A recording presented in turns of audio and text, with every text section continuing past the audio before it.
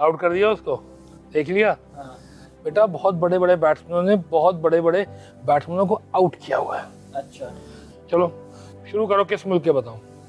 पाकिस्तान से शुरू करते हैं ना यार। जैसे पाकिस्तान से आप जावेद मियादाद सईद अनवर इंजमाम इंडिया?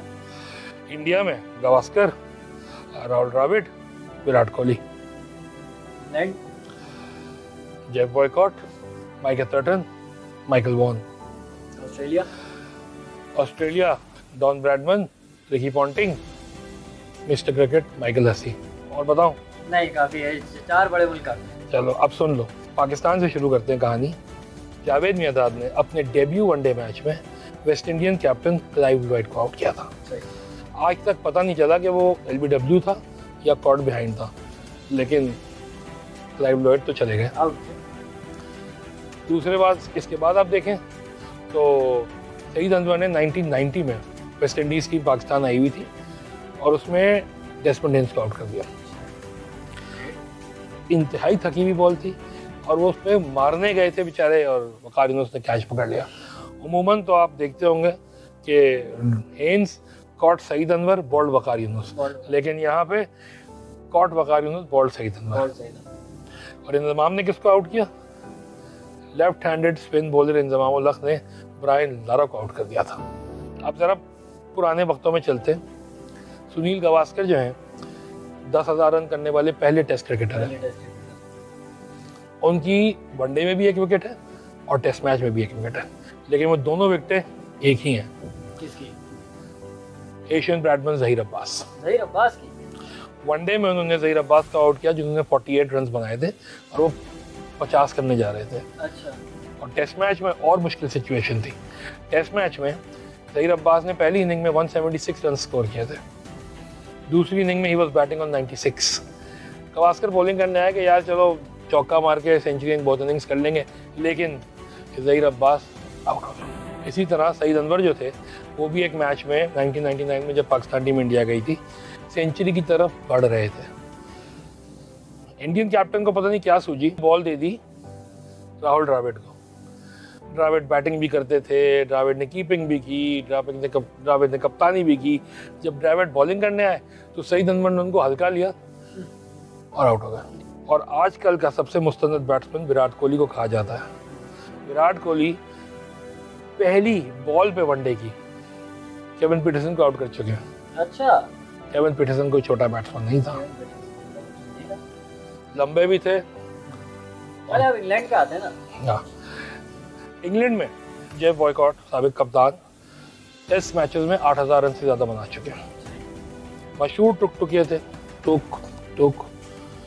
शायद तेज़ खेलना उन्होंने ख्वाब में भी नहीं सोचा होगा। बॉलिंग भी स्लो करते थे। लेकिन अपने करियर के शुरू में जिस ज़माने में उन्होंने डेब्यू किया है साउथ अफ्रीका जो थी वो टेस्ट क्रिकेट खेल रही थी और अभी उन पर पाबंदी नहीं लगी थी जेफ बॉयकॉट एक मैच में ग्रैम पोलॉक को आउट कर चुके हैं जो बहुत ज़बरदस्त बैट्समैन थे अपने ज़माने के शॉन पोलॉक के वालिद साहब। जी। तो जेफ बॉयकॉट जो थे वो बाद में भी उन्होंने बॉलिंग की है कभी कभी और उन्हीं की बॉलिंग में वनडे मैच में पाकिस्तान टीम 1979 का जो आखिरी लीग मैच था वो हार गई थी। क्योंकि कोई रेगुलर बॉलर नहीं थे। इन सब में कोई रेगुलर बॉलर नहीं है। वो बड़े बड़े बैट्समैन जो रेगुलर बॉलर्स थे उनमें सचिन तेंदुलकर आते हैं बहुत विकटें हैं उनकी। सनत जयसूर्या आते हैं हमारे सलीम मलिक आते हैं। लेकिन ये लोग जो जिनके मैं नाम ले रहा हूँ they were not regular bowlers ये कभी छः आठ दस साल में एक दफ़ा बॉलिंग कर लिया करते थे। ऑस्ट्रेलिया की बात अगर करें तो ऑस्ट्रेलिया में 1940s के ज़माने की बात है। डॉन ब्रैडमन और इंग्लैंड के वॉली हैमंड दोनों बिल्कुल टॉप के क्रिकेटर्स थे। ब्रैडमन 90 प्लस एवरेज से स्कोर करते थे और दूसरे नंबर पे जो बैट्समैन आता था दैट वाज वॉली हैमंड दोनों की बनती कोई खास नहीं थी एक तो इंग्लैंड ऑस्ट्रेलिया की राइवलरी भी थी और जब दोनों कप्तान होके टॉस करने आते थे तो भी देखने का माहौल होता था। बात नहीं करते थे एक दूसरे से। बात नहीं करते लेकिन डॉन ब्रैडमन ने एक एज हासिल कर लिया था कि एक दफ़ा एक मैच में वो बॉलिंग करते हुए हैमंड को आउट कर चुके हैं। अच्छा। तो हैमंड को एक हमेशा एक खटक सी रही। ये क्या हुआ मेरे साथ? वेस्ट वेस्ट इंडीज़ के ब्राइन चार्ल्स लारा अपने ज़माने के बेहतरीन बैट्समैनों में उनका शुमार होता है। आज भी लोग उनकी मिसालें देते हैं और वैसा लेफ़्ट आर्म बैट्समैन शायद आया ही नहीं है। लेकिन कभी कभी होता है ना कि बैटला ख़राब होती है। तो रिकी पॉन्टिंग एक दफ़ा बॉलिंग करने आए और लारा बैटिंग कर रहे थे वनडे मैच में। लारा ने फॉर ग्रांटेड लिया और ऐसा अजीब सा शॉट मारा कि विकेट पॉन्टिंग को मिल गई। मिस्टर क्रिकेट कहलाए जाने वाले माइक हसी उनको पाकिस्तानी जो हैं वो तो मरते दम तक कभी नहीं भूलेंगे। वो तो कभी नहीं भूलेंगे। जिस तरह उन्होंने सईद अजमल की पटाई की थी वो तो खैर आज भी आँसू निकल आते हैं। माइक हसी ने एक दफ़ा बॉलिंग की। श्रीलंका के कुमार संगाकारों को आउट कर दिया। तो ये कहना कि बड़ा बैट्समैन जो है वो सिर्फ़ बैटिंग करते हुए बड़ा होता है। ये गलत है। कभी कभी बड़े बड़े बैट्समैन बड़े बड़े बैट्समैनों को चलता कर लेते हैं। हाँ हाँ। यार आप इतने बड़े बड़े बैट्समैनों के नाम ले हाँ। कभी उनके भी नाम ले लिया करें जिनका कैरियर बहुत छोटा है लेकिन विकेट ले गए। उसका भी तो पता है उस विकेट कीपर का जिसने विकेट ली है।